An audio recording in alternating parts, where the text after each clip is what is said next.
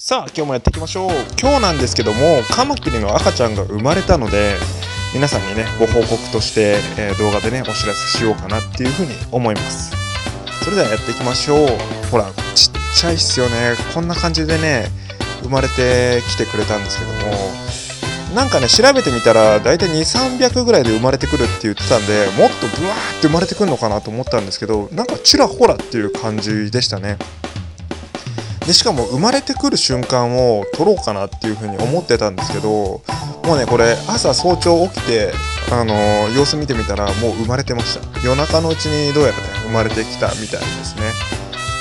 はい。でも多分この中に大体、うん、そうですね20匹いるかなぐらいっていう感じですね。思ってたよりも、まあ、10分の1ぐらいの数が生まれてましたね。はい。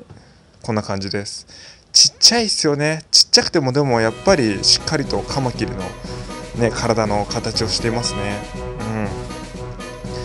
うん。でこの子たちなんですけどあのー、室内で買おうかなってあ カマキリダンシングしてますね。カマキリって警戒すると体が揺れるんですよね。レッツダンシングダンシングダンシングです。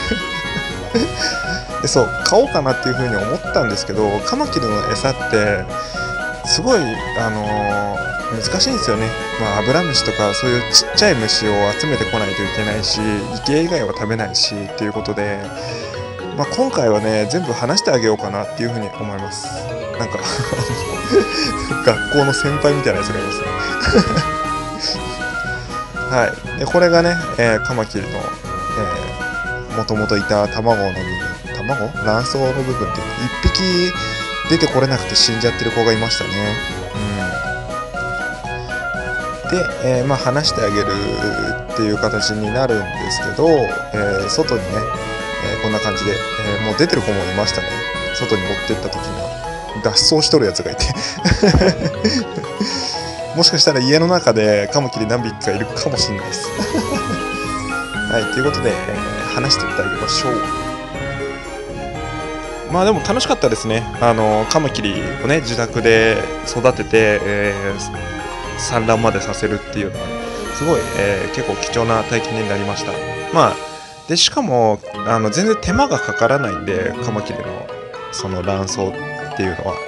はい、なので、まあ、結構本当に楽しかったです。ちっちゃい赤ちゃんがね、これだけ、ね、生まれてきてくれて、なんか良かったなっていうふうに思いますね。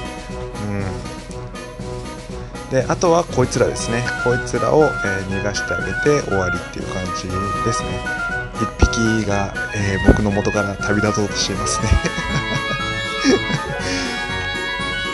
はい、こんな感じでもう自然の中に入るとほとんど分かんなくなりますよね。昆虫の擬態能力っていうのはやっぱりすごいなというふうに思いますね、うん、であとこいつらを僕の元から卒業させてね。はい終わりっていう感じですね。一応今日はそんなカマキリが生まれましたっていうご報告動画になります、えー、ちょっと前にねそのカマキリの、えー、卵をね捕まえてきましたっていう動画を出したんでまあそれのねアンサーっていう形になりますね。はい。と思ったんですけど翌日にまたこれだけの数が生まれてました。なんならちょっと次の日の方が生まれてきた数が多いんじゃねえかっていうぐらい生まれててでまたねもしかしたら生まれるかもしれないんでもしかしたらあのカマキリ追加 出るかもしれないですね。はい。ということで今日はそんな動画になりました。もしよかったらチャンネル登録と高評価コメント等ぜひぜひよろしくお願いいたします。ではまた次回の動画でお会いしましょう。またね。